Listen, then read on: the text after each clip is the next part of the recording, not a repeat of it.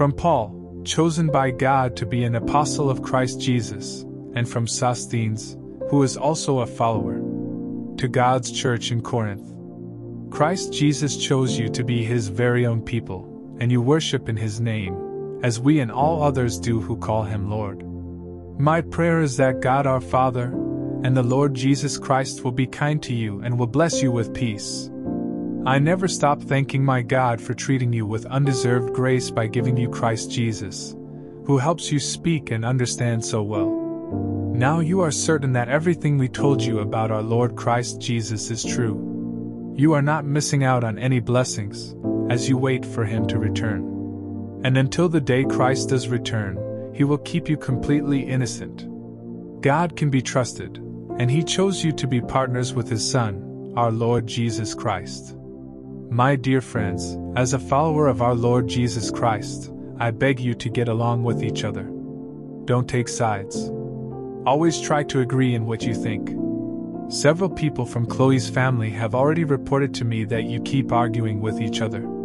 They have said that some of you claim to follow me, while others claim to follow Apollos or Peter or Christ. Has Christ been divided up? Was I nailed to a cross for you? Were you baptized in my name? I thank God that I didn't baptize any of you except Crispus and Gaius. Not one of you can say that you were baptized in my name. I did baptize the family of Stephanas, but I don't remember if I baptized anyone else. Christ did not send me to baptize. He sent me to tell the good news without using words that sound wise and would make the cross of Christ lose its power. The message about the cross doesn't make any sense to lost people. But for those of us who are being saved, it is God's power at work. As God says in the scriptures, I will destroy the wisdom of all who claim to be wise, that I will confuse those who think they know so much. What happened to those wise people? What happened to those experts in the scriptures? What happened to the ones who think they have all the answers?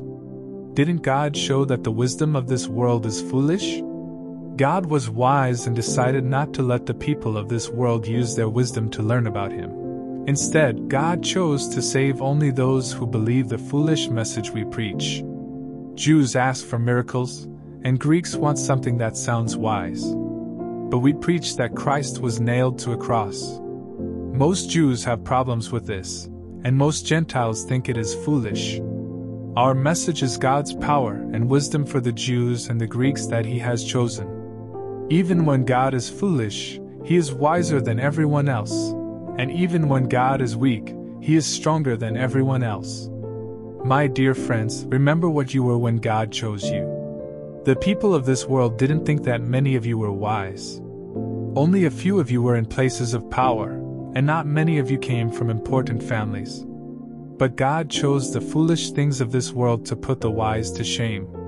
He chose the weak things of this world to put the powerful to shame. What the world thinks is worthless, useless, and nothing at all is what God has used to destroy what the world considers important.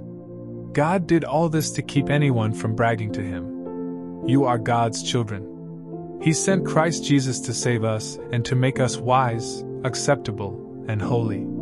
So if you want to brag, do what the scriptures say and brag about the Lord.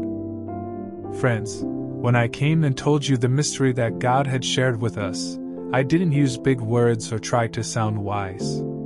In fact, while I was with you, I made up my mind to speak only about Jesus Christ, who had been nailed to a cross. At first, I was weak and trembling with fear. When I talked with you or preached, I didn't try to prove anything by sounding wise. I simply let God's Spirit show His power. That way you would have faith because of God's power and not because of human wisdom. We do use wisdom when speaking to people who are mature in their faith. But it isn't the wisdom of this world or of its rulers, who will soon disappear. We speak of God's hidden and mysterious wisdom that God decided to use for our glory long before the world began. The rulers of this world didn't know anything about this wisdom. If they had known about it, they would not have nailed the glorious Lord to a cross.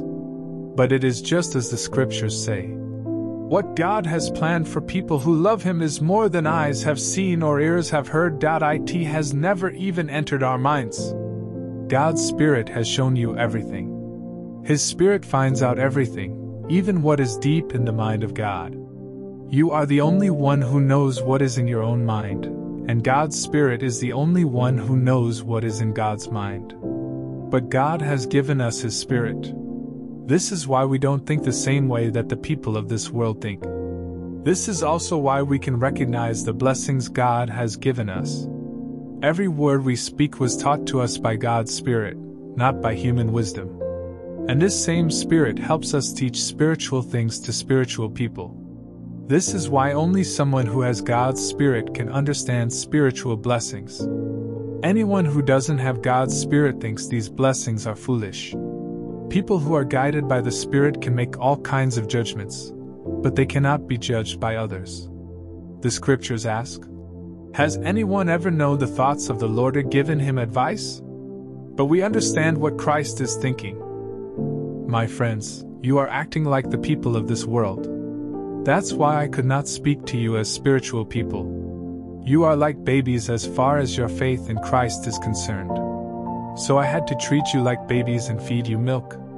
You could not take solid food, and you still cannot, because you are not yet spiritual. You are jealous and argue with each other. This proves you are not spiritual, and you are acting like the people of this world. Some of you say you follow me, and others claim to follow Apollos. Isn't this how ordinary people behave? Apollos and I are merely servants who helped you to have faith. It was the Lord who made it all happen. I planted the seeds, Apollos watered them, but God made them sprout and grow. What matters isn't those who planted or watered, but God who made the plants grow. The one who plants is just as important as the one who waters. And each one will be paid for what they do. Apollos and I work together for God, and you are God's garden and God's building. God treated me with undeserved grace and let me become an expert builder. I laid a foundation on which others have built. But we must each be careful how we build, because Christ is the only foundation. Whatever we build on this foundation will be tested by fire on the day of judgment. Then everyone will find out if we have used gold, silver, and precious stones, or wood, hay, and straw. We will be rewarded if our building is left standing. But if it is destroyed by the fire, we will lose everything. Yet we ourselves will be saved, like someone escaping from flames. All of you surely know you are God's temple and His Spirit lives in you. Together you are God's holy temple, and God will destroy anyone who destroys His temple. Don't fool yourselves. If any of you think you are wise in the things of this world, you will have to become foolish before you can be truly wise. This is because God considers the wisdom of this world to be foolish.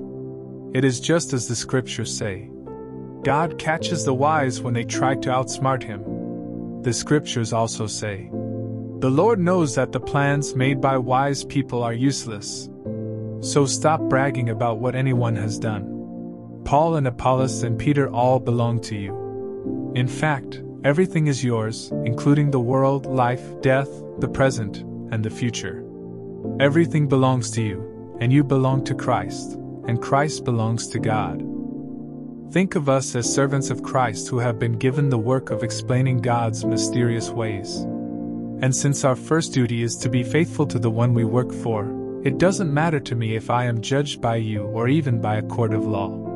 In fact, I don't judge myself. I don't know of anything against me, but this doesn't prove I am right. The Lord is my judge.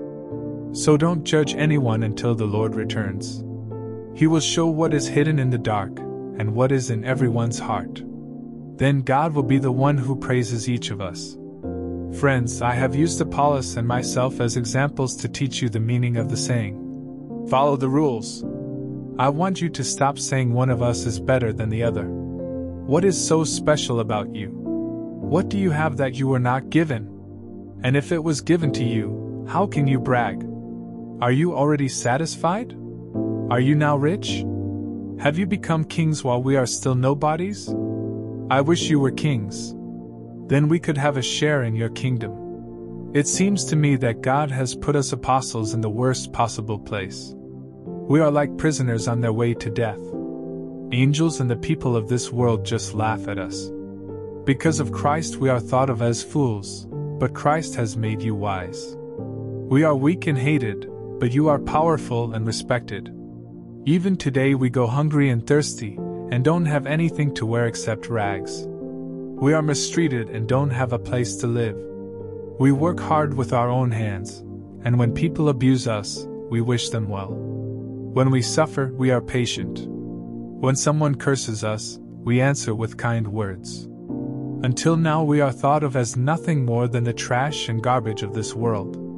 I am not writing to embarrass you. I want to help you, just as parents help their own dear children.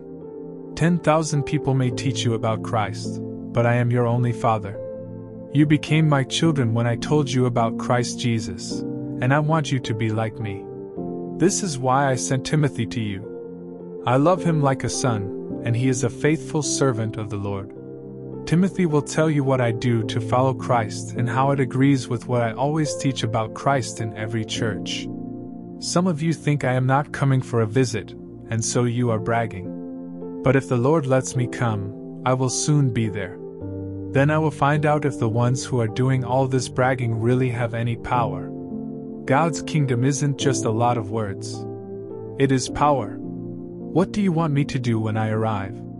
Do you want me to be hard on you or to be kind and gentle? I have heard terrible things about some of you. In fact, you are behaving worse than Gentiles. A man is even sleeping with his own stepmother. You are proud, when you ought to feel bad enough to chase away anyone who acts like this. I am with you only in my thoughts. But in the name of our Lord Jesus, I have already judged this man, as though I were with you in person. So when you meet together and the power of the Lord Jesus is with you, I will be there too. You must then hand that man over to Satan. His body will be destroyed, but his spirit will be saved when the Lord Jesus returns. Stop being proud. Don't you know how a little yeast can spread through the whole batch of dough? Get rid of the old yeast. Then you will be like fresh bread made without yeast, and this is what you are. Our Passover lamb is Christ, who has already been sacrificed. So don't celebrate the festival by being evil and sinful, which is like serving bread made with yeast. Be pure and truthful and celebrate by using bread made without yeast. In my other letter, I told you not to have anything to do with the immoral people. But I wasn't talking about the people of this world. You would have to leave this world to get away from everyone who is immoral, or greedy, or who cheats or worships idols. I was talking about your own people who are immoral or greedy or worship idols or curse others or get drunk or cheat. Don't even eat with them. Why should I judge outsiders? Aren't we supposed to judge only church members? God judges everyone else. The scriptures say, Chase away any of your own people who are evil. When one of you has a complaint against another, do you take your complaint to a court of sinners? Or do you take it to God's people? Don't you know that God's people will judge the world? And if you are going to judge the world, can't you settle small problems? Don't you know we will judge angels? And if this is so, we can surely judge everyday matters. Why do you take everyday complaints to judges who are not respected by the church? I say this to your shame. Aren't any of you wise enough to act as a judge between one follower and another? Why should one of you take another to be tried by unbelievers? When one of you takes another to court, all of you lose. It would be better to let yourselves be cheated and robbed. But instead, you cheat and rob other followers. Don't you know that evil people won't have a share in the blessings of God's kingdom? Don't fool yourselves. No one who is immoral or worships idols or is unfaithful in marriage or is a pervert or behaves like a homosexual will share in God's kingdom. Neither will any thief or greedy person or drunkard or anyone who curses and cheats others. Some of you used to be like that. But now the name of our Lord Jesus Christ and the power of God's Spirit have washed you and made you holy and acceptable to God.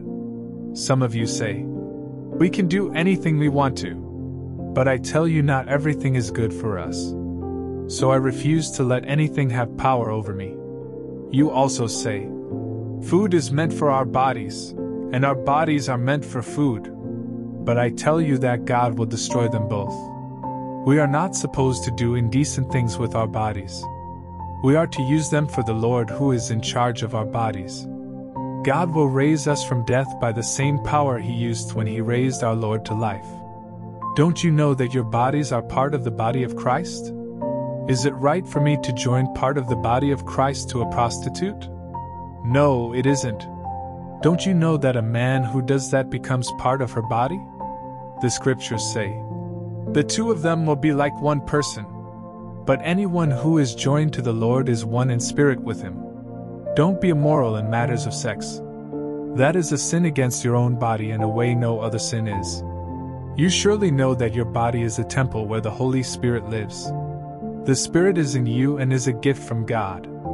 You are no longer your own. God paid a great price for you. So use your body to honor God.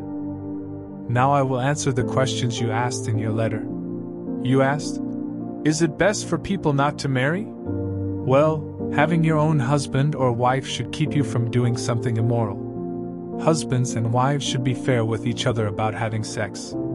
A wife belongs to her husband instead of to herself, and a husband belongs to his wife instead of to himself. So don't refuse sex to each other, unless you agree not to have sex for a little while in order to spend time in prayer. Then Satan won't be able to tempt you because of your lack of self control. In my opinion, that is what should be done, though I don't know of anything the Lord said about this matter. I wish all of you were like me, but God has given different gifts to each of us. My advice for the unmarried and for widows is that it is acceptable for them to remain single, just as I am. But if you don't have enough self control, then go ahead and get married. After all, it is better to marry than to burn with desire. I instruct married couples to stay together, and this is exactly what the Lord Himself taught. A wife who leaves her husband should either stay single or go back to her husband.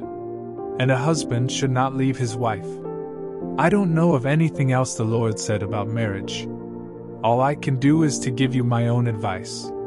If your wife isn't a follower of the Lord, but is willing to stay with you, don't divorce her. If your husband isn't a follower, but is willing to stay with you, don't divorce him. Your husband or wife who isn't a follower is made holy by having you as a partner. This also makes your children holy and keeps them from being unclean in God's sight. If your husband or wife isn't a follower of the Lord and decides to divorce you, then you should agree to it. You are no longer bound to that person. After all, God chose you and wants you to live at peace. And besides, how do you know if you will be able to save your husband or wife who isn't a follower? In every church, I tell the people to stay as they were when the Lord Jesus chose them and God called them to be His own. Now I say the same thing to you. If you are already circumcised, don't try to change it. If you are not circumcised, don't get circumcised. Being circumcised or uncircumcised isn't really what matters. The important thing is to obey God's commands. So don't try to change what you were when God chose you. Are you a slave? Don't let that bother you. But if you can win your freedom, you should. When the Lord chooses slaves, they become His free people. And when He chooses free people, they become slaves of Christ. God paid a great price for you. So don't become slaves of anyone else. Stay what you were when God chose you. I don't know of anything the Lord said about people who have never been married. But I will tell you what I think.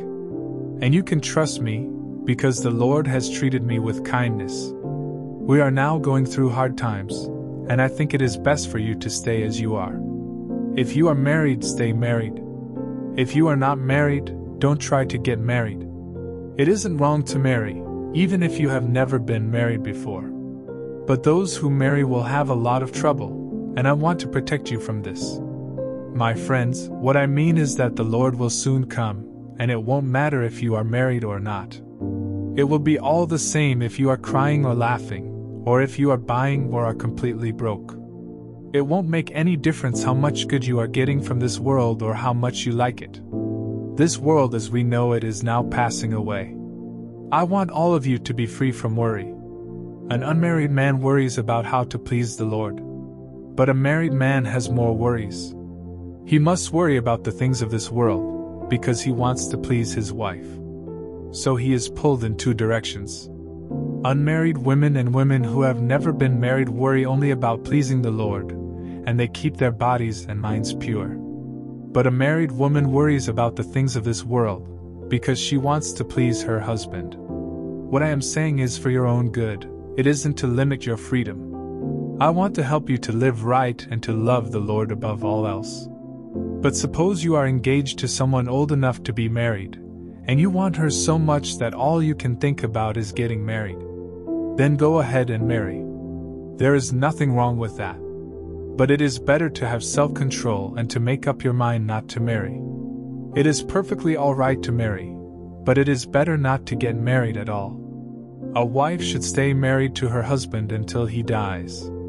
Then she is free to marry again, but only to a man who is a follower of the Lord. However, I think I am obeying God's Spirit when I say she would be happier to stay single. In your letter, you asked me about food offered to idols. All of us know something about this subject. But knowledge makes us proud of ourselves, while love makes us helpful to others. In fact, people who think they know so much don't know anything at all. But God has no doubts about who loves him. Even though food is offered to idols, we know that none of the idols in this world are alive. After all, there is only one God. Many things in heaven and on earth are called gods and lords, but none of them really are gods or lords. We have only one God, and He is the Father. He created everything, and we live for Him. Jesus Christ is our only Lord. Everything was made by Him and by him life was given to us. Not everyone knows these things. In fact, many people have grown up with the belief that idols have life in them. So when they eat meat offered to idols, they are bothered by a weak conscience. But food doesn't bring us any closer to God. We are no worse off if we don't eat, and we are no better off if we do. Don't cause problems for someone with a weak conscience, just because you have the right to eat anything. You know all this, and so it doesn't bother you to eat in the temple of an idol. But suppose a person with a weak conscience sees you and decides to eat food that has been offered to idols. Then what you know has destroyed someone Christ died for. When you sin by hurting a follower with a weak conscience, you sin against Christ. So if I hurt one of the Lord's followers by what I eat, I will never eat meat as long as I live. I am free. I am an apostle. I have seen the Lord Jesus and have led you to have faith in him. Others may think that I am not an apostle, but you are proof that I am an apostle to you. When people question me, I tell them that Barnabas and I have the right to our food and drink. We each have the right to marry one of the Lord's followers and to take her along with us, just as the other apostles and the Lord's brothers and Peter do. Are we the only ones who have to support ourselves by working at another job? Do soldiers pay their own salaries?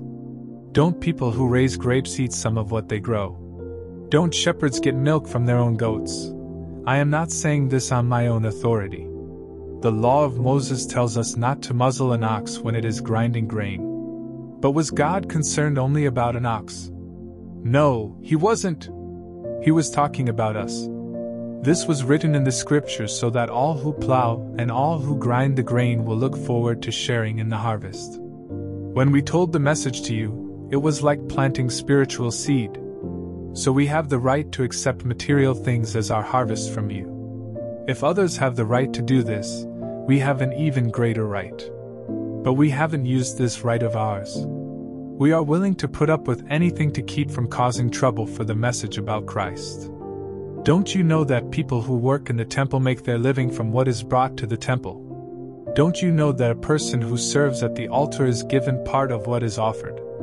In the same way, the Lord wants everyone who preaches the good news to make a living from preaching this message. But I have never used these privileges of mine, and I am not writing this because I want to start now. I would rather die than have someone rob me of the right to take pride in this. I don't have any reason to brag about preaching the good news. Preaching is something God told me to do, and if I don't do it, I am doomed. If I preach because I want to, I will be paid. But even if I don't want to, it is still something God has sent me to do. What pay am I given? It is the chance to preach the good news free of charge and not to use the privileges that are mine because I am a preacher. I am not anyone's slave. But I have become a slave to everyone, so I can win as many people as possible. When I am with the Jews, I live like a Jew to win Jews. They are ruled by the law of Moses, and I am not. But I live by the law to win them. And when I am with people who are not ruled by the law, I forget about the law to win them. Of course, I never really forget about the law of God. In fact, I am ruled by the law of Christ. When I am with people whose faith is weak, I live as they do to win them. I do everything I can to win everyone I possibly can. I do all this for the good news, because I want to share in its blessings. You know that many runners enter a race, and only one of them wins the prize. So run to win. Athletes work hard to win a crown that cannot last, but we do it for a crown that will last forever. I don't run without a goal. And I don't box by beating my fists in the air. I keep my body under control and make it my slave, so I won't lose out after telling the good news to others. Friends, I want to remind you that all our ancestors walked under the cloud and went through the sea. This was like being baptized and becoming followers of Moses. All of them also ate the same spiritual food and drank the same spiritual drink, which flowed from the spiritual rock that followed them. That rock was Christ. But most of them did not please God. So they died, and their bodies were scattered all over the desert. What happened to them is a warning to keep us from wanting to do the same evil things. They worshipped idols, just as the scriptures say. The people sat down to eat and drink. Then they got up to dance around. So don't worship idols. Some of those people did shameful things, and in a single day about died. Don't do shameful things as they did. And don't try to test Christ, as some of them did and were later bitten by poisonous snakes. Don't even grumble, as some of them did and were killed by the destroying angel. These things happened to them as a warning to us. All this was written in the scriptures to teach us who live in these last days. Even if you think you can stand up to temptation, be careful not to fall. You are tempted in the same way that everyone else is tempted. But God can be trusted not to let you be tempted too much, and He will show you how to escape from your temptations. My friends, you must keep away from idols. I am speaking to you as people who have enough sense to know what I am talking about. When we drink from the cup we ask God to bless, isn't that sharing in the blood of Christ? When we eat the bread we break, isn't that sharing in the body of Christ? By sharing in the same loaf of bread, we become one body, even though there are many of us. Aren't the people of Israel sharing in the worship when they gather around the altar and eat the sacrifices offered there? Am I saying that either the idols or the food sacrificed to them is anything at all? No, I am not. This food is really sacrificed to demons and not to God. I don't want you to have anything to do with demons. You cannot drink from the cup of demons and still drink from the Lord's cup. You cannot eat at the table of demons and still eat at the Lord's table. We would make the Lord jealous if we did this. And we are not stronger than the Lord. Some of you say, We can do whatever we want to.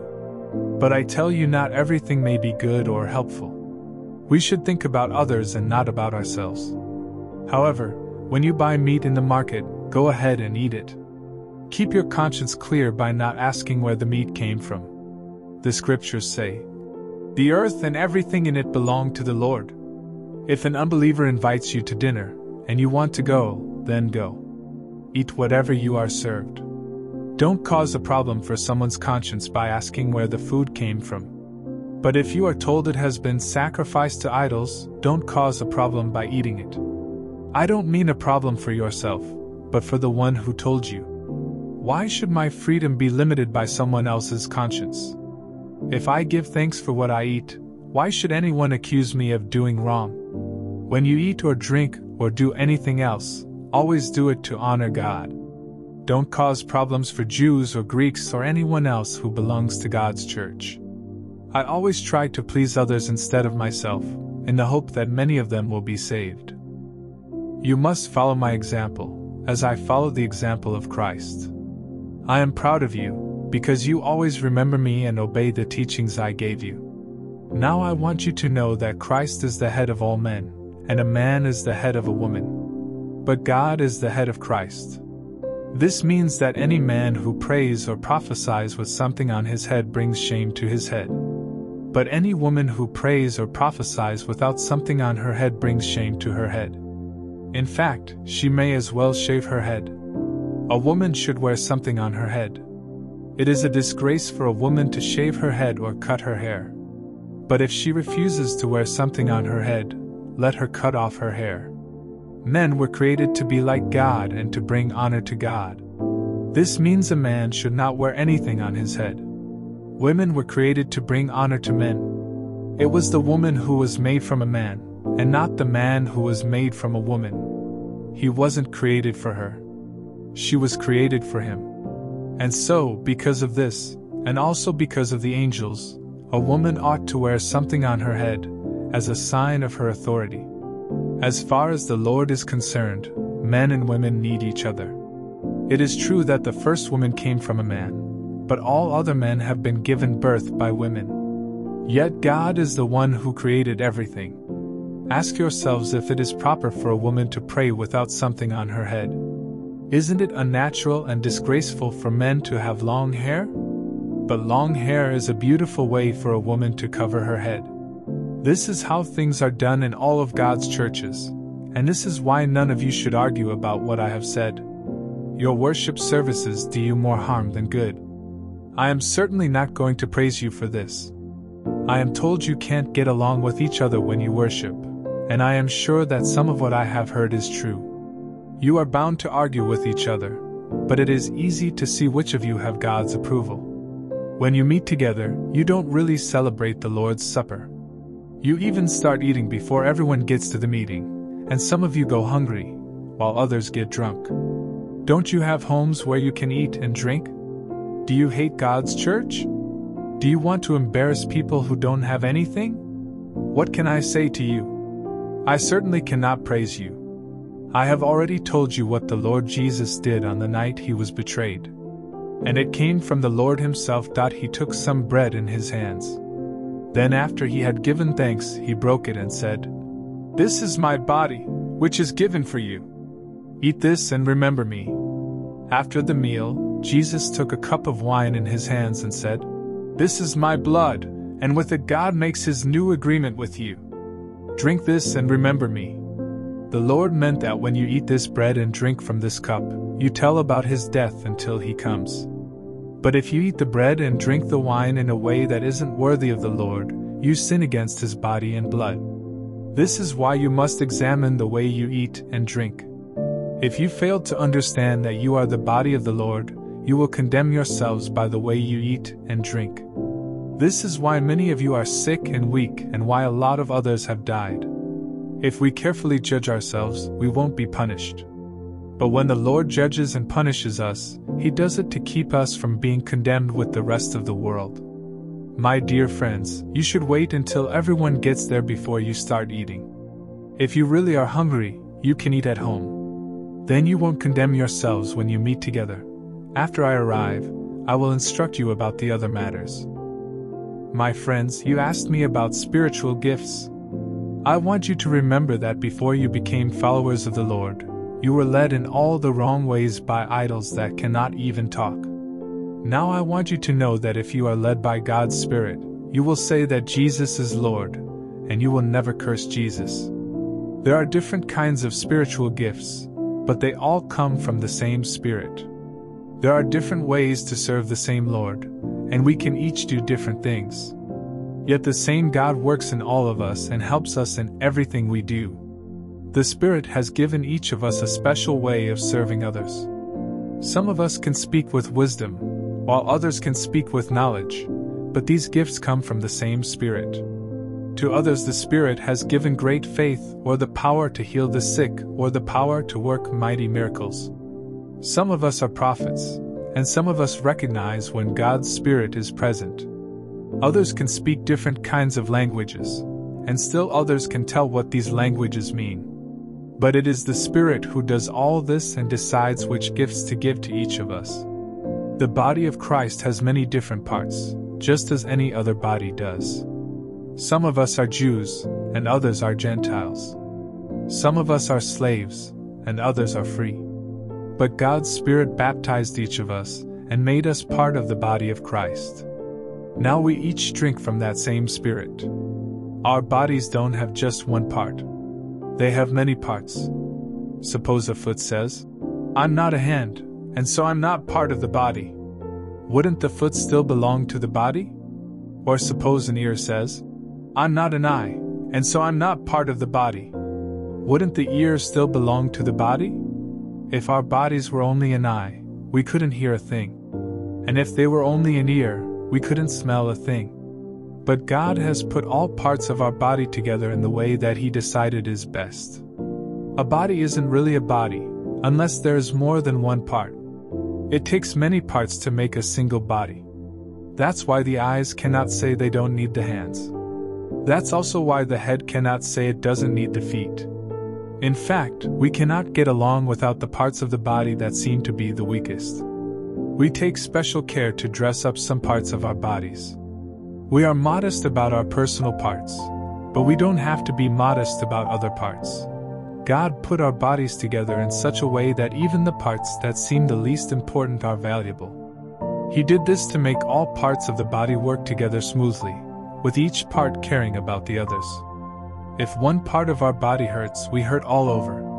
If one part of our body is honored, the whole body will be happy. Together, you are the body of Christ. Each one of you is part of his body. First, God chose some people to be apostles and prophets, and teachers for the church. But he also chose some to work miracles or heal the sick or help others or be leaders or speak different kinds of languages. Not everyone is an apostle. Not everyone is a prophet. Not everyone is a teacher.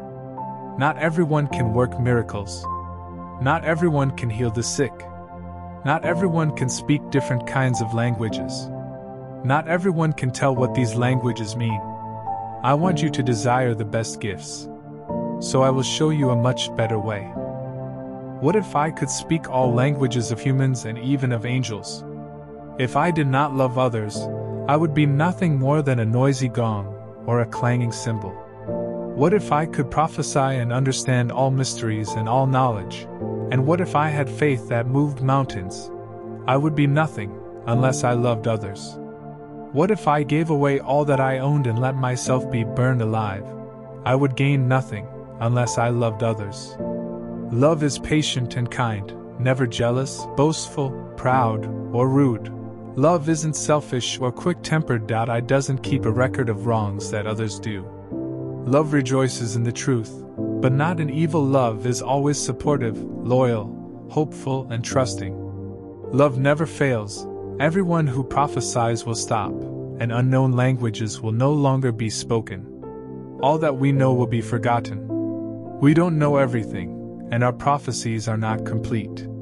But what is perfect will someday appear and what isn't perfect will then disappear. When we were children, we thought and reasoned as children do, but when we grew up, we quit our childish ways. Now all we can see of God is like a cloudy picture in a mirror. Later we will see Him face to face. We don't know everything, but then we will, just as God completely understands us. For now there is faith, hope, and love, but of these three the greatest is love. Love should be your guide. Be eager to have the gifts that come from the Holy Spirit, especially the gift of prophecy. If you speak languages that others don't know, God will understand what you are saying, though no one else will know what you mean. You will be talking about mysteries that only the Spirit understands. But when you prophesy, you will be understood, and others will be helped. They will be encouraged and made to feel better. By speaking languages that others don't know, you help only yourself but by prophesying you help everyone in the church. I am glad for you to speak unknown languages, although I prefer that you would prophesy.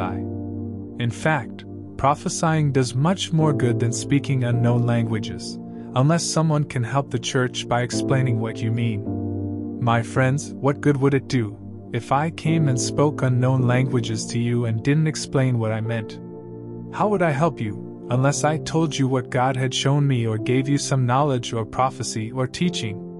If all musical instruments sounded alike, how would you know the difference between a flute and a harp? If the bugle call isn't clear, how would you know to get ready for battle? This is how it is when you speak unknown languages. If no one can understand what you are talking about, you will only be talking to the wind. There are many different languages in this world, and all of them make sense. But if I don't understand the language that someone is using, we will be like foreigners to each other.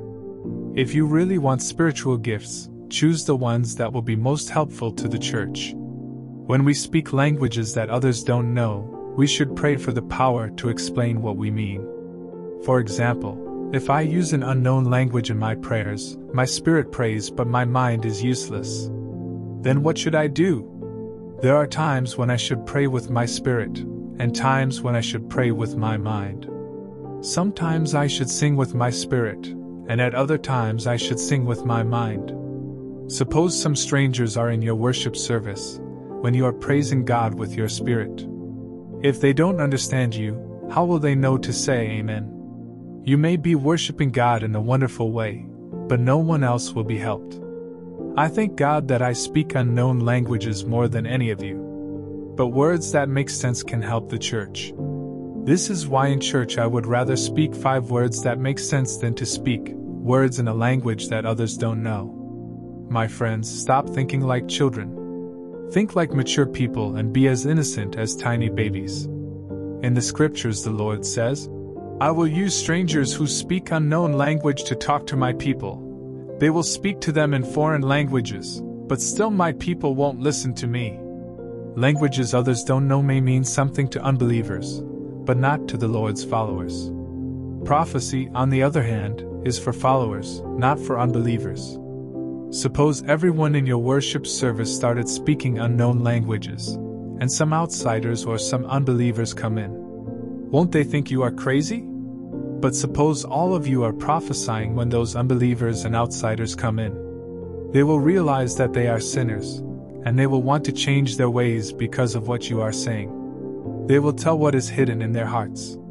Then they will kneel down and say to God, We are certain that you are with these people. My friends, when you meet to worship, you must do everything for the good of everyone there. That's how it should be when someone sings or teaches or tells what God has said or speaks an unknown language or explains what the language means. No more than two or three of you should speak unknown languages during the meeting. You must take turns, and someone should always be there to explain what you mean. If no one can explain, you must keep silent in church and speak only to yourself and to God. Two or three persons may prophesy and everyone else must listen carefully.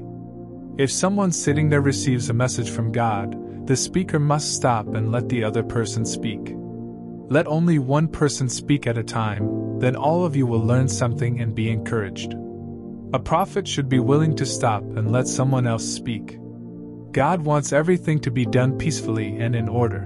When God's people meet in church, the women must not be allowed to speak. They must keep quiet and listen, as the law of Moses teaches. If there is something they want to know, they can ask their husbands when they get home. It is disgraceful for women to speak in church. God's message did not start with you people, and you are not the only ones it has reached. If you think of yourself as a prophet or a spiritual person, you will know I am writing only what the Lord has commanded. So don't pay attention to anyone who ignores what I am writing. My friends, be eager to prophesy and don't stop anyone from speaking languages that others don't know. But do everything properly and in order. My friends, I want you to remember the message I preached and that you believed and trusted. You will be saved by this message if you hold firmly to it. But if you don't, your faith was all for nothing. I told you the most important part of the message exactly as it was told to me. This part is Christ died for our sins, as the scriptures say. He was buried, and three days later he was raised to life, as the scriptures say. Christ appeared to Peter, then to the twelve. After this, he appeared to more than 500 other followers. Most of them are still alive, but some have died. He also appeared to James, then to all of the apostles. Finally, he appeared to me, even though I am like someone who was born at the wrong time backslash I am the least important of all the apostles. In fact, I caused so much trouble for God's church that I don't even deserve to be called an apostle. But God treated me with undeserved grace. He made me what I am, and His grace wasn't wasted. I worked much harder than any of the other apostles, although it was really God's grace at work and not me. But it doesn't matter if I preached or if they preached. All of you believe the message just the same. If we preach that Christ was raised from death, how can some of you say the dead will not be raised to life? If they won't be raised to life, Christ himself wasn't raised to life. And if Christ wasn't raised to life, our message is worthless, and so is your faith. If the dead won't be raised to life, we have told lies about God by saying He raised Christ to life, when He really did not. So if the dead won't be raised to life, Christ wasn't raised to life. Unless Christ was raised to life, your faith is useless, and you are still living in your sins. And those people who died after putting their faith in Him are completely lost. If our hope in Christ is good only for this life, we are worse off than anyone else. But Christ has been raised to life, and He makes us certain that others will also be raised to life. Just as we will die because of Adam, we will be raised to life because of Christ. Adam brought death to all of us, and Christ will bring life to all of us. But we must each wait our turn. Christ was the first to be raised to life, and his people will be raised to life when he returns. Then, after Christ has destroyed all powers and forces, the end will come, and he will give the kingdom to God the Father. Christ will rule until he puts all his enemies under his power, and the last enemy he destroys will be death. When the scriptures say he will put everything under his power, they don't include God. It was God who put everything under the power of Christ. After everything is under the power of God's Son, he will put himself under the power of God, who put everything under his Son's power. Then God will mean everything to everyone. If the dead are not going to be raised to life, what will people do who are being baptized for them? Why are they being baptized for those dead people? And why do we always risk our lives and face death every day? The pride that I have in you because of Christ Jesus our Lord is what makes me say this. What do you think I gained by fighting wild animals in Ephesus? If the dead are not raised to life, let's eat and drink. Tomorrow we die. Don't fool yourselves. Bad friends will destroy you. Be sensible and stop sinning. You should be embarrassed that some people still don't know about God. Some of you have asked, How will the dead be raised to life? What kind of bodies will they have? Don't be foolish. A seed must die before it can sprout from the ground. Wheat seeds and all other seeds look different from the sprouts that come up. This is because God gives everything the kind of body He wants it to have. People, animals, birds, and fish are each made of flesh, but none of them are alike. Everything in the heavens has a body, and so does everything on earth. But each one is very different from all the others. The sun isn't like the moon, the moon isn't like the stars, and each star is different. That's how it will be when our bodies are raised to life. These bodies will die, but the bodies that are raised will live forever. These ugly and weak bodies will become beautiful and strong. As surely as there are physical bodies, there are spiritual bodies. And our physical bodies will be changed into spiritual bodies. The first man was named Adam, and the scriptures tell us that he was a living person. But Jesus, who may be called the last Adam, is a life giving spirit. We see that the one with the spiritual body did not come first. He came after the one who had a physical body. The first man was made from the dust of the earth, but the second man came from heaven. Everyone on earth has a body like the body of the one who was made from the dust of the earth. And everyone in heaven has a body like the body of the one who came from heaven. Just as we are like the one who was made out of earth, we will be like the one who came from heaven. My friends, I want you to know that our bodies of flesh and blood will decay. This means they cannot share in God's kingdom, which lasts forever. I will explain a mystery to you. Not every one of us will die, but we will all be changed. It will happen suddenly, quicker than the blink of an eye. At the sound of the last trumpet, the dead will be raised. We will all be changed, so we will never die again. Our dead and decaying bodies will be changed into bodies that won't die or decay. The bodies we now have are weak and can die, but they will be changed into bodies that are eternal. Then the scriptures will come true. Death has lost the battle. Where is its victory? Where is its sting? Sin is what gives death its sting, and the law is the power behind sin. But thank God for letting our Lord Jesus Christ give us the victory. My dear friends, stand firm and don't be shaken. Always keep busy working for the Lord. You know that everything you do for Him is worthwhile. When you collect money for God's people, I want you to do exactly what I told the churches in Galatia to do. That is, each Sunday each of you must put aside part of what you have earned. If you do this, you won't have to take up a collection when I come. Choose some followers to take the money to Jerusalem. I will send them on with the money and with letters which show that you approve of them. If you think I should go along, they can go with me. After I have gone through Macedonia, I hope to see you and visit with you for a while. I may even stay all winter, so that you can help me on my way to wherever I will be going next. If the Lord lets me, I would rather come later for a longer visit than to stop off now for only a short visit. I will stay in Ephesus until Pentecost, because there is a wonderful opportunity for me to do some work here. But there are also many people who are against me. When Timothy arrives, give him a friendly welcome. He is doing the Lord's work, just as I am. Don't let anyone mistreat him. I am looking for him to return to me together with the other followers. So when he leaves, send him off with your blessings. I have tried hard to get our friend Apollos to visit you with the other followers. He doesn't want to come just now, but he will come when he can. Keep alert. Be firm in your faith. Stay brave and strong. Show love in everything you do. You know that Stephanas and his family were the first in Achaia to have faith in the Lord. They have done all they can for God's people my friends, I ask you to obey leaders like them and to do the same for all others who work hard with you. I was glad to see Stephanas and Fortunatus and Achaicus. Having them here was like having you. They made me feel much better, just as they made you feel better. You should appreciate people like them. Greetings from the churches in Asia. Aquila and Priscilla, together with the church that meets in their house, send greetings in the name of the Lord. All the Lord's followers send their greetings. Give each other a warm greeting.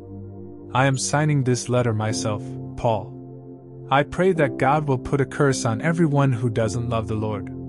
And may the Lord come soon. I pray the Lord Jesus will be kind to you. I love everyone who belongs to Christ Jesus.